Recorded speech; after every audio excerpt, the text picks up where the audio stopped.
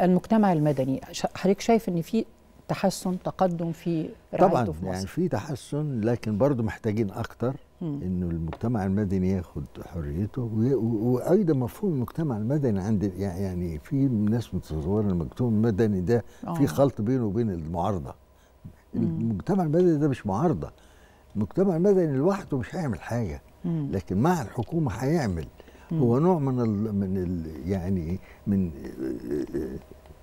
يعني نوع من التحفيز ونوع من التعاون لابد يسمى بين الاثنين فاذا ال- يعني المجتمع المدني ما هواش معادي للحكومة بالعكس. طبعا يعني المجتمع المدني ده أصله منقسم إلى حاجات كتيرة يعني في جمعيات الخيريه ما فيش فيها مشكلة في مصر طول عمرها لها باع كبير جدا. لكن الحاجات اللي فيها قدر من الرقابة زي حقوق الإنسان زي مم. زي آه، المرأة زي آه، البيئة الوقت موضوع الجمعيات المفروض تبقى المناخ الوقت المفروض يبقى فيه مجالات كبيرة.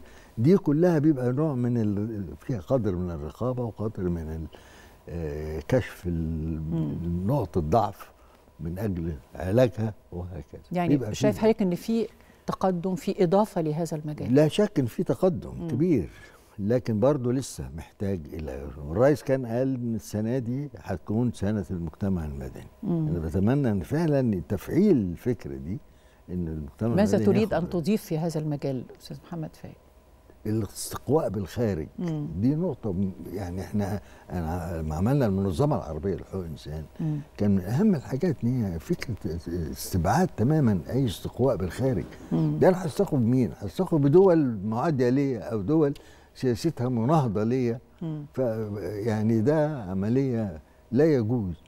ف وأيضا أيضا لازم ال- الدولة تكون قادرة على استيعاب النقد اللي بيطلع من هذه الجمعيات وإن هي تتجاوب معاه.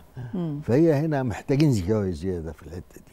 يعني من جانب حضرتك بتقول إن الجانبين كل آه، من الجانبين الدولة طبعاً. وال- وعموم طبعاً. الناس لازم يبقى فيه طبعا آه، نوع طبعا. من في فتره العهد الاشتراكي آه. المجتمع المدني بيقل دوره قوي أيوة. باعتبار إن الدولة مسؤولة عن كل حاجة. فهي كمان عشان كده برضه هي موضوع جديد يعني.